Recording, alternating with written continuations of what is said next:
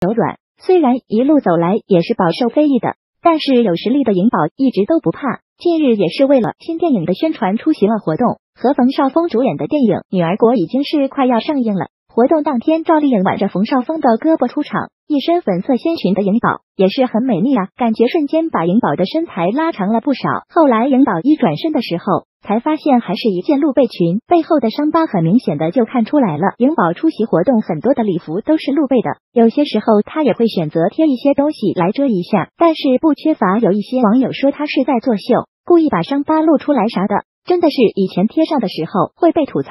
现在不贴了还是会被吐槽，粉丝是真的心疼自己的偶像啊。不过当天的气温最低是有零下八度的，颖宝穿那么少，铁定吃冷的。这不一下台就认怂了，赶紧的就要温度。羽绒服上身，在台下的颖宝也是很兴奋的样子，不停和别人打招呼，表示这个样子的颖宝真的好可爱啊。当然，除了官方的精修图之外，还有一些没有经过精修的照片流出，不知道。